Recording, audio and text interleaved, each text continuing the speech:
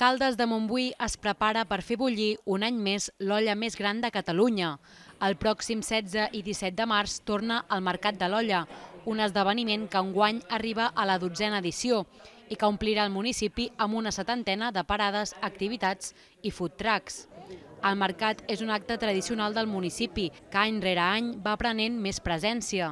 Segons afirma l'organització i el consistori, cada cop són més les persones que s'animen a descobrir-lo, però el més important és que pels calderins i calderines és molt seu i és que està fortament vinculat a l'essència del municipi. És una activitat molt divertida, que a més a més connecta amb la nostra història, amb el nostre passat i que aposta per aquesta cuina termal que és una varietat molt carismàtica pels calderins i calderines. Eh, de fet, eh, és la dotzena edició, tal, tal com coneixem el Mercat de l'Olla avui en dia, amb aquesta olla gran, gegant, al mig de la plaça Coent, però és la 38a edició com a mercat d'artesania i com a mercat de, de productes locals. Els protagonistes del programa seran, com sempre, l'olla i l'aigua termal. Durant la festa es repartiran 6.000 racions de llegums cuits en aquesta aigua.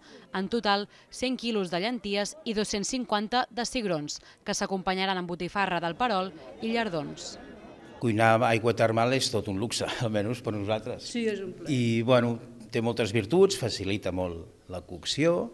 És una proposta basada també entre la cocció amb aigua termal i els antics plats mitjavals. No? A banda d'aquesta activitat, un dels actes centrals de l'esdeveniment també és el Sants en l'olla, una proposta gastronòmica que fan els restaurants calderins. En total, una desena d'establiments hi participaran aportant un plat singular inspirat en la cuina termal i tradicional, uns plats que es podran degustar fins al pròxim 24 de març.